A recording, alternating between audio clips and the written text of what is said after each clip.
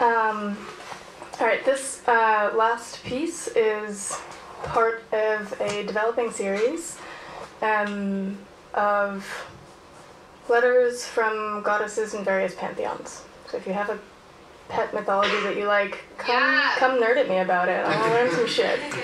Good research. um, so this is Lilith. Any, do people mostly know who Lilith is? Yes. Yes. Okay. If you don't know, ask one of the people who said yes after. Um, yeah. Adam, when you called me home with three pairs of withering hands, it was not I you called for, nor I you wanted. This body is its own sovereign soil, governed by no spirit, neither soul nor sire. I am no bloody babe, born from the bone of another, and for that I have known your infinite fury. And for that woman I have wept, and I weep still. When you called me home, did you know my true name? You should know it now. Both warning and wreckage smolder before the flare and the ashes in her wake. Rumble on the horizon and the quake that solders bloodlines from grief and hope, fusing what is left into memory. I am the echo of our mother and every mother since.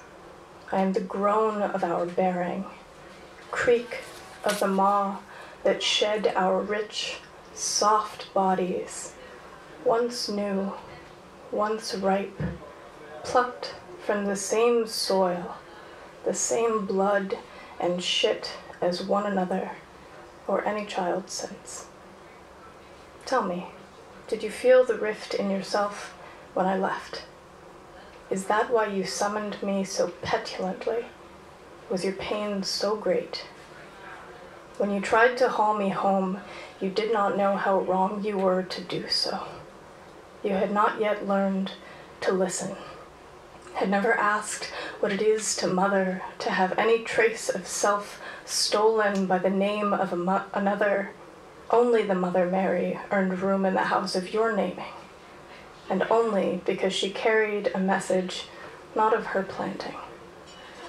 All you know of creation you learned from our Father, whose name is also and always mine to speak, whose name cast me into the dark of knowing. Whose name have you taken for yourself and your sons? Who has given your daughters their names?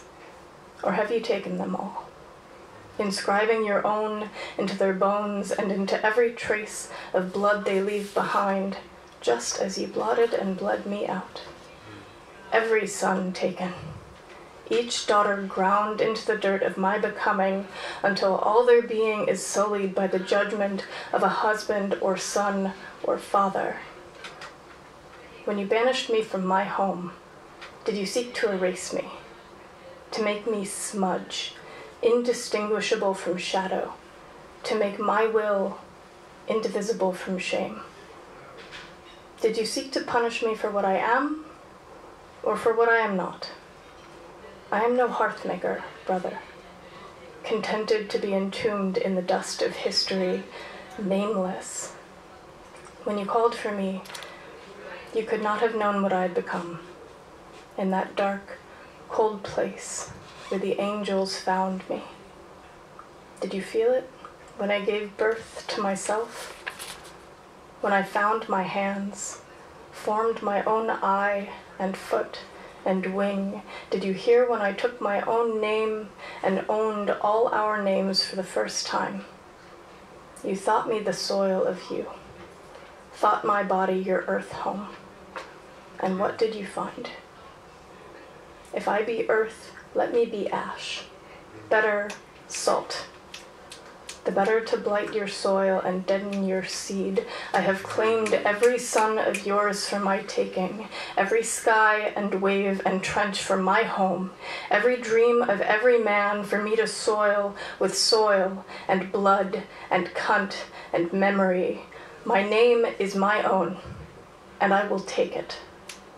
My body is my own, and I will claim her. My children are my own, and I will claim them. Look at all I have done. Roiled the womb of history in my own image. And for what? Only to teach you how to listen?